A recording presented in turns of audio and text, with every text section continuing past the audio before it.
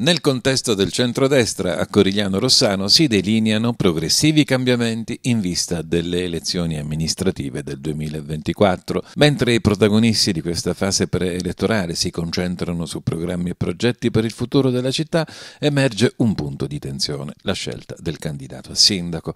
Il fermento interno, seppur invisibile e tangibile, con diverse forze politiche che collaborano per costruire una proposta solida. Le discussioni riguardano temi vasti da urbanistica e sicurezza, ma un aspetto cruciale emerge il candidato a sindaco come espressione della partitocrazia distante dalla società civile.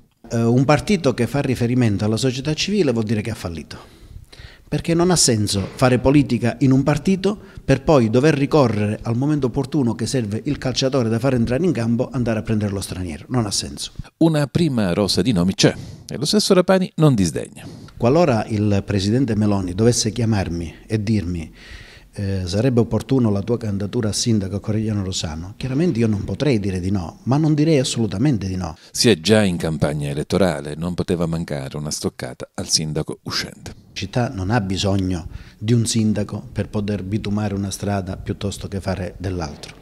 Il sindaco dovrebbe dire nella prossima campagna elettorale qual è il segnale tangibile che ha lasciato in questo territorio dopo cinque anni di amministrazione. Qual è? Si è preoccupato per caso di fare la cittadella amministrativa? E pure di soldi se ne stanno spendendo. Matteo Lauria per la C News 24.